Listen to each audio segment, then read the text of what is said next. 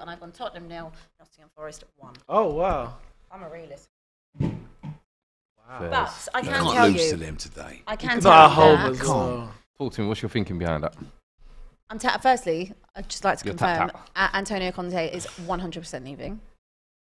At the end of the season Yes. or after this game? Uh, no, de- I mean definitely at the end of the season. Yeah. Hopefully after he- this game. Did he, te- did he text you? Uh, no, but I know somebody who rents a property Mm. to a member of the coaching staff. Right, and they've basically said, "Hey, the lease is up in July. We ain't renewing." Should like cut it. Interesting. Cut it off in. Interesting. So there you go. So there's your exclusive. DR. Sports exclusive. That's it for you. this is why we pay her. Yeah, there we go. That's your exclusive. So there we go. You happy He about that? Absolutely. Yeah, I couldn't care less. I'd like him to leave tomorrow. Fuad, you happy about that? I know you're you're uh, like a big manager, big manager height. You love your big No, manager. no, not even big manager. I'm a, I'm what you were saying earlier. Like I'm a believer in you hire a manager, you see out the course type Mm. of thing. Yeah, I was the same with Pochettino, with Jose. I'm not someone who's out out managers, if Mm. you like. I'm like, listen, even right now, I think Spurs fans are calling for Pochettino, the return of Pochettino, Oh, yeah. and I've said Ab- if it's you Abbi, sack- innit? Abbi's if got a plane listen, flying across I- Tottenham I've been Stadium hearing today. her preaching from the rooftops about Pochettino, and the thing is, is if you sack Conte right now, that's the only one that makes sense. Yeah, Yes, the only option. right now. And the thing is, is for me, the reason why I kind of don't want to do that is because it allows the board to get away with the Mm. criminalities of sacking him in the first place.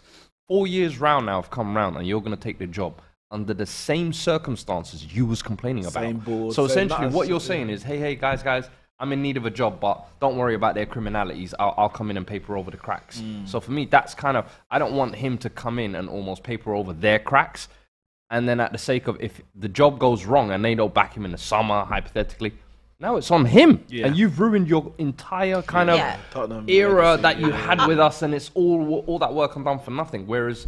I'm like the board have made this decision to hire Conte. Yeah, you better You made the own decision. it, own it. you made whatever the happens, decision to. January. You had the opportunity. We all sat here in DR and we said, "Should we sack him in January?" And we were like, "Yeah."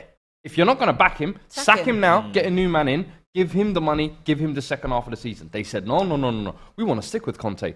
Now you're out of all the cups. Now, now you now's the time to throw your toys out of the pram. No, top four still there to be grabbed. I still think Conte's a good enough manager. I'm not going to give these players who absolutely bottled it in these last three games against Mm, Sheffield. Wolves, you were outschooled. Against Sheffield, outworked. Against Milan, you didn't even turn up. no, so I'm not going to act like Conte's got a magical controller and he's the one telling these players, yeah, don't run, don't press. Listen, I'm not saying his tactics are helping. His tactics definitely negate us to an extent. But these players have to turn up and put a performance in. I'm sorry.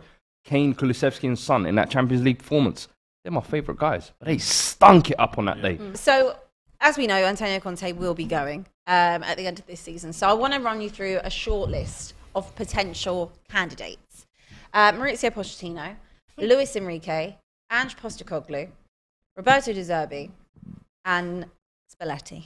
What's Thomas I Tuchel? think- You didn't put Thomas Tuchel. on. T- Thomas Tuchel is not me- noted on this list, but I also don't I'll see the point of De Zerbi being on Pochettino, this list either. Pochettino for me is rose tinted glasses. Looking back, um, Luis Enrique is more of the same of Conte and Jose, where a manager who's going to come in, demand a lot, and the board aren't going to give him it. Um, De Zerbi for me at the moment is a bit of a flavour of the month. I'll be honest with you, very new at Brighton. Let him kind of do his thing over there before we kind of get too sucked up on him. Uh, Pes- Pes- Pes- Postecoglou at Celtic. Mm, not really my cup of tea. I've said for me, I think the ones I would kind of look at are Thomas Frank at Brentford, but I think he's even come out the last couple of days said he's really not that interested. Um, uh, Gallardo is another one, former River Plate manager, um, developed a lot of youngsters, Julian Alvarez, Enzo Fernandez, constantly kept losing his top talents, um, won the South American Champions League and the Argentinian First Division a couple times with River Plate as well, at a time when really and truly he didn't have a squad to be winning it. But I think a manager like that who can work with young talent, um, work within a budget, work almost build a culture like Pochettino did the first time round, but mm. without having to use Pochettino himself, if that mm. makes sense. A newer, fresher version, I like to think of it. So for me, I think he's someone and plays attacking football, mm. which is something Spurs fans have been crying about and saying Well, they want to be with- enjoy. that yeah. has to be with the next manager. They 100%. have to play. And I think one thing where a lot of people are seeing Luis Enrique's name and Luis Enrique doesn't play an exciting style of Yeah. play. I'm sorry. Spain's kill you with a thousand passes doesn't entertain me. You're I'm also sorry. not going to be able to do tiki-taka football with Yes. Ben Davies, Uh, yeah, 100%. Dier, Think, think about it. Like, and before that, happening. he was working with MSN Barcelona. Yeah, So yeah. it's like apples and oranges, people. Like, let's get realistic. If you if you're saying you want to kind of go back to seeing the Tottenham you wanted to see where you enjoy the football again, Luis Enrique is not the solution in my opinion. And going back to Pochettino, it's a bit of a comfort thing for me. It is That's the only comfort. thing. It's the comfort thing. Makes I me feel hear warm it. safe. I completely understand where people are coming from, but not for me, man. Let's move forward. I, Gallardo, I, I think that's the Pochettino- man. I think Pochettino's a, a bad decision. Not saying he's a bad manager, but I think it's yeah, it's going back. I don't think it's gonna Go for Chelsea. go Chelsea. for Chelsea. Go for Chelsea. Is it Mudryk? Hopefully not. Is it Mudryk? Hopefully. Just to silence you, it's not. It's Ben, Ben. Chilwell. It's Ben Chilwell with the goal. So Everton are 1 0 up against Brentford. Leicester are 1 0 down against Chelsea. Tottenham had a goal for Richarlison disallowed for offside, but it did look a little bit suspect. Uh, and it's still Leeds nil, Brighton nil. Tell you what, Leicester are really getting sucked into this. Oh, yeah. I mean, yeah, they've been learning it for a while. But I think yeah, the Pochettino one, it's like it's not exactly the same, but it's kind of the reason I didn't want Pochettino at Man United. I think there's just too much baggage, and I say that in the sense of because he never won something his first time at um, Spurs. Then he went to um, PSG. PSG and he was like, yeah, he won, but it was a bit eh, 50-50. How good was he? Was it his fault? Was it the players' fault? X, Y, Z. He didn't. His reputation didn't increase by going to. PSG. So that that kind of the baggage still carries around with him. If he comes back and yeah, gets top four, maybe a couple times, whatever. But the moment that results start start to go bad, it's gonna go back to the Pochettino bottle job. Is he really that good? How good is he really? Spurs and Pochettino. Pochettino's There's- been here a total of eight years and won yeah, nothing. There's yeah. just too much narrative where I think Yeah. you just need a clean, fresh start. Someone that's never probably never managed in the Premier League before. Um, definitely hasn't managed Spurs before, and uh, I would say a different. Obviously, what you went through, uh, Mourinho, Nuno, and Conte, all pragmatic managers. A new style. Like I say, go reverting back to what Well, it's- Spurs it's- traditionally Play. played, exciting attacking football. Yeah. That- I think so. It, it needs to be a clean break from anything that you've had in the past, you know, four four years or whatever. Yeah, there's a super chat from Raj. He says Spurs should go for Ruben Amorim from Sporting. Sporting, I was See, thinking that as another well. one, yeah. Him, I would have gone for like a year and a half ago when he won the title with Sporting because they seemed like they were playing good football. Similarly, loses a lot of his young talents, develops young talents, works within a budget. Yeah.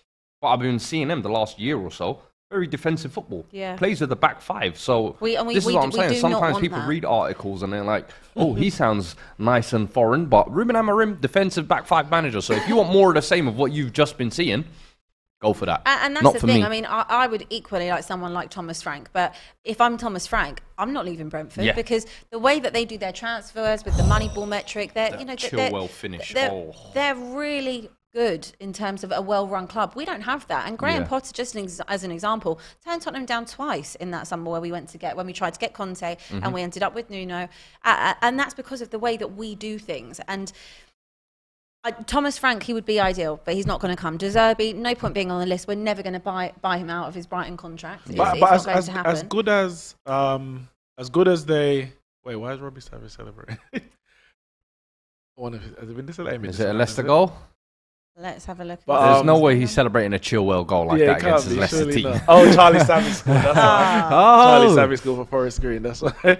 Um, but I think in terms of um, who, who, are you, who was it? The Ruben? Who are you talking about? Deserby. Zerbi. Oh, Thomas Frank, I wanted to speak about. Yes, it's everything's good at Brentford, but when that bigger job comes, can managers turn it down? We always say that because look at Potter. Pot- it was everything was set up perfect for him at, at Brighton. This season they started well. They were in and around the European places. He had no quote unquote reason to leave Brighton, but a bigger side came for him, and he went. So I think yeah, Thomas Frank can say what he wants, but if Spurs come and they say this is you know this is the project that we want you, The problem this is- is the, the money that you're gonna have to spend, this is the length of contract, this is your salary. I can't see him turning them down. The It- problem is, I think can't. we're in that weird space at the moment where it's like we're almost falling away from the other big clubs. We're kind of falling behind. So it's a Massively. case of do I want to be a part of this kind of sinking ship or do I want to be the one to kind of steer it Over around? It's kind of Mm. which role do I want to take type of thing. And I guess it all depends on what how much belief you have in yourself as well as a manager.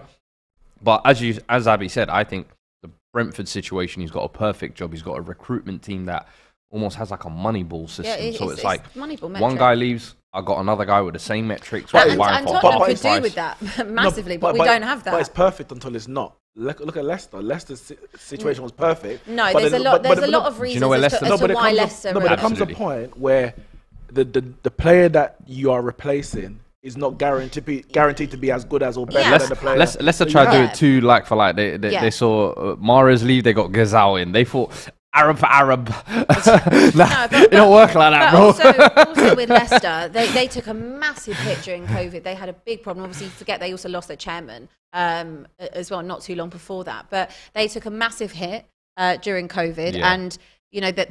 Their, their ownership has been great, and that's why I don't think they've sacked Rodgers because they're going to keep him in place. They've done well to keep hold of Maddison.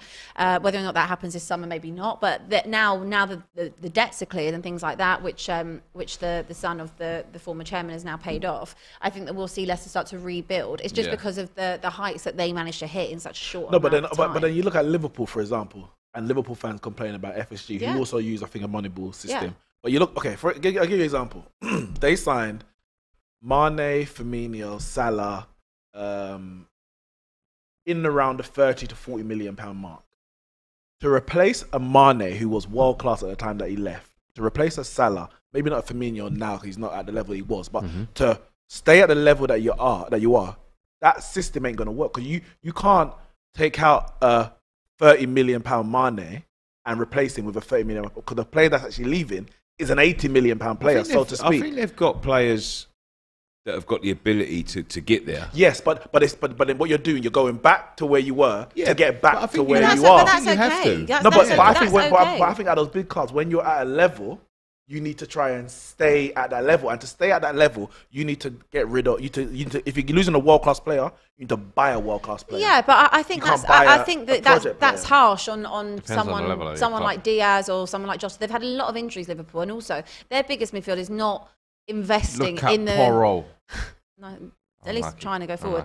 Um, their biggest problem is not investing in the midfield. The reason Liverpool have been so bad this season, yes, Mane is a factor that they've lost him, but they've had a lot of injuries. Their midfielders have, have a combined age of 90, um, and that's really where it is. I mean, they, they'd have no problem buying a few players and they'd look a lot better. It's because Yeah. they don't have the legs to implement what they look, used look to be able lot, to do. look a lot better, yes, but they're not gonna not at the level to compete with Man City because Man City are losing a 50 million pound player and buying a there's- hundred I million think pound there's- player to replace them. Are they? I think Well, there's a- I'm, I'm, talking, I'm just talking about the, will, the amount they're willing to invest. Not necessarily saying that Grealish was better than Sterling or da da da. But I'm saying they're, know. they're willing I, to think, invest. I think there's quite a few rebuilds coming on. If you look at Man City's Cycles. squad, th- th- there's- Man City are rebuilding, Yeah, they've but they're still on for 90 points this season. Yeah, of course, of Liverpool course are they're on for rebuilding and they're sitting in Seven. But it's Not- also the difference of the owner. Yeah, I think I think that's owners, just that's just what, it, what what they've got, um, and and the, you know I think Liverpool, if you look at them in the long term, Gakpo is going to be a great player. I think Mhm. Nunez is going to be a fantastic Diaz, player. Jota. Diaz, Jota, for the future next season, I think Harvey they'll be Elliott. fine. Yeah. Harvey Elliott, Well, yeah, they he's could developed- potentially get Jude Bellingham in the summer. Yeah, I think I think they're going to be fine. I think there's it's a li- you know you take that, that that little bit of a rebuild, but the thing that you know the top teams should be concerned about. Harry is I think there's a few teams. The goal for Tottenham. Come on, you Hopefully, this normal. one isn't going to be ruled out. Hazard, hazard, hazard. Sound a bit more excited. Uh, Harry Kane with the goal for Tottenham. Woo! I'm just going to cherish him for the next few months till he leaves. where's he going? Not talking about it. He's Well, staying we'll talk about it. Tottenham. That's, that, that's We something for will sign a new deal in the summer. You heard it here first. DR Sports exclusive.